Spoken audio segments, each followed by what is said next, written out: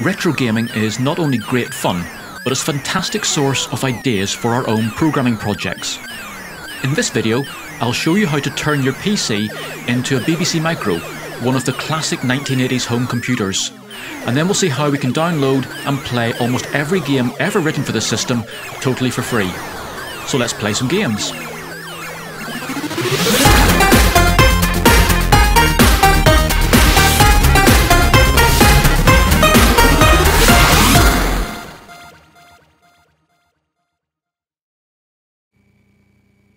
Hi, and welcome to Bytes and Bits. Turning your computer into a different sort of computer is actually very straightforward if we use something called an emulator. So in this video we're going to look at using an emulator for a BBC Micro. So let's get straight into it and see exactly what that's going to do for us. So I already have a BBC emulator installed and I'm using this BeebEm version which is a really good um, emulator. So if I open that up, instantly you can see we are straight into a BBC Micro and I can do anything I would do on a normal BBC Micro on here. So I could type in a normal for loop and I now have a little program typed into my computer. I can run that and I get my things there. I can list that program. And then more importantly, I can actually download game files from the internet and I can run them. So let's go there and let's run a disk. And let's find one here and let's play um, something called Meteors, which is a BBC Micro version of the Asteroids game. So we come in here and you can see now we are now playing a BBC Micro game on our emulator. So, let's have a look at how we can then install this BBC Micro emulator on your computer. To install BeebEm, we simply go to the BeebEm website. So opening up my browser and typing in the web address for BeebEm, and that takes us to this download page. And really, we can simply get, if, if we're on a Windows machine, we can simply download this version here. And I'm going to save that into my downloads folder. And then once it's downloaded, all I have to do is run that. And that will go through and now install BeebEm on my computer.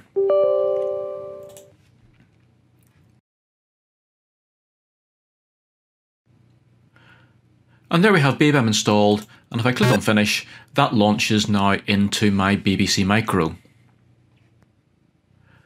If you're using a different computer, then if you scroll down a bit on the screen, you'll find that there are versions here for Apple Mac and Linux uh, and a few others, and simply follow through the instructions on those various versions to install it onto your machine. On the PC, when BeebEm installs, sometimes you'll find that the icon for the shortcut isn't, isn't quite right. So if I click on that with my right mouse button, I can then go to Properties and change icon and select the BeebEm icon from the list in there. And if I click on OK for that and apply it, we should now find that the icon has changed. Now that we've got the emulator running on our computer, we need to get hold of some games.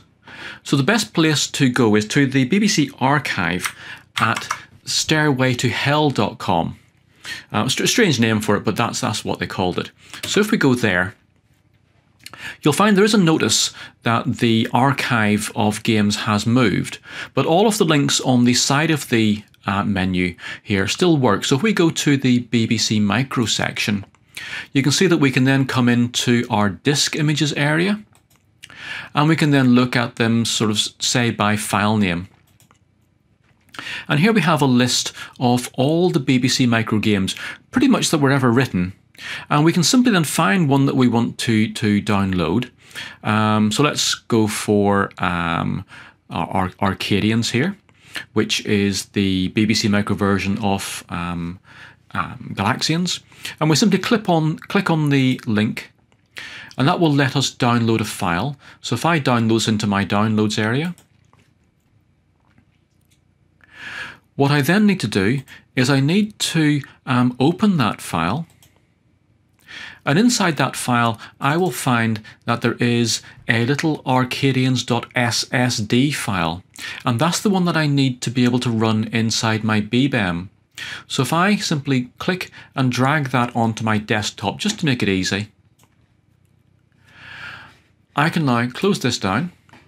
I can start up my BeebEm and I can say File, Run Disk, and then from my desktop, I should be able, from my desktop, I should be able to find my Arcadians disk, run that, and I'm now running Arcadians. Run up that, we should now have a working game. And there we go. And we have now our Acornsoft Arcadians running on our emulated BBC Micro. So you've really now got the ability to, um, if I just close this, to come along here and really pick up any game that you want to have a go with. And believe me, there are lots of really good games inside the BBC Micro, and plenty of those will give you really good ideas for your own programming projects.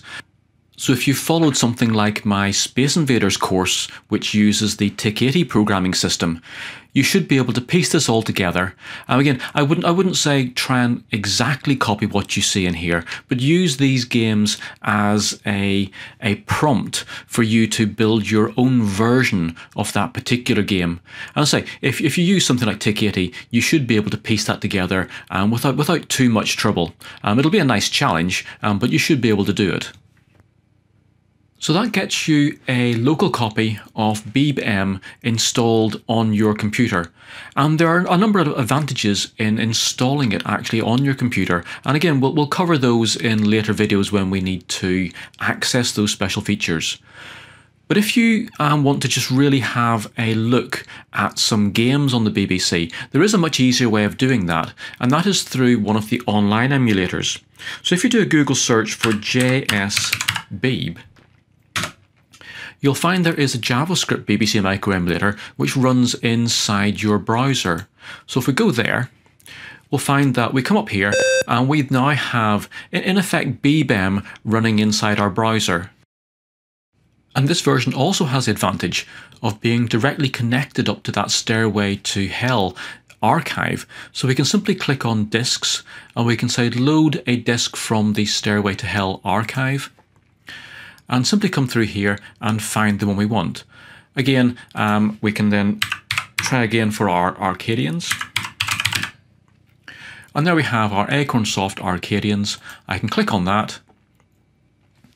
And if I then boot that disk by holding down my Shift key and pressing F12, and we're back into our Arcadians um, game again. So this lets you then very quickly just go and try some games out. The only real downside to this is there's less flexibility on how it runs on your on the on the system. So you're very much it will run inside the browser, and um, that's how it goes. And it also then doesn't let you access any um, game controllers and joysticks you have attached to your computer, which can be very useful in certain games such as Elite and so on.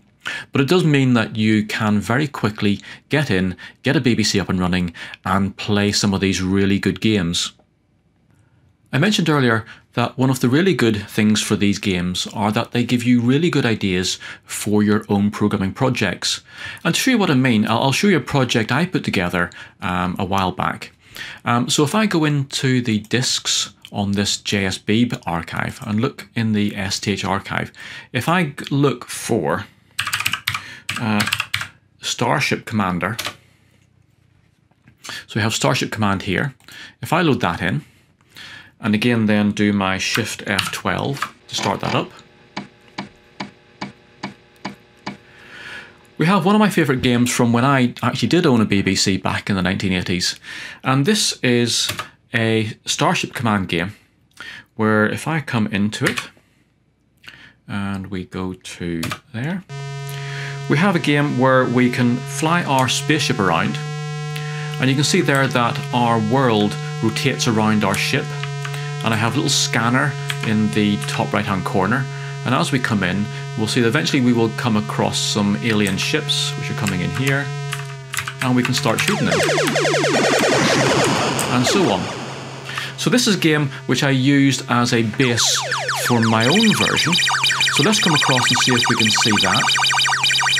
Let me just come out of this and come across to my, my Bytes and Bits website. And I have one called Star Command in here. And this is programmed using, um, well, Pico 8 initially for this one. Um, again, I'll be re reprogramming this in TIC80 as one of my courses. So depending on when you listen to this video, um, it will either be about to happen or will already be on the website. But if we press Z to play that, let's click in here and play this game, you'll see that we have our similar sort of idea. So I can use my keys to sort of move around.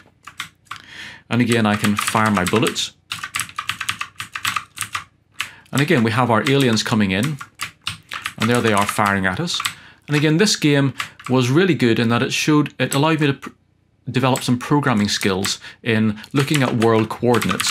So you can see here that the world is revolving around the ship, and all the stars and everything are involved in that. We have lots of particle effects, so our explosions are a lot more impressive um, with all of these, um, what do you call them, particle effects.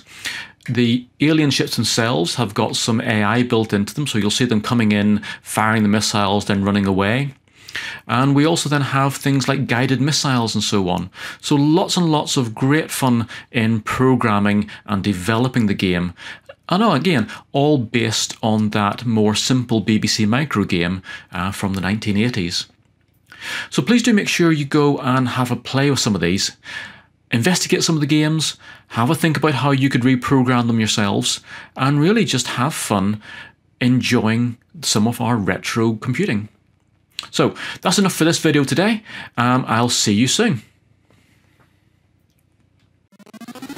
For more games programming, electronics projects, and retro gaming, please make sure you like this video, subscribe to my YouTube channel, and visit my website.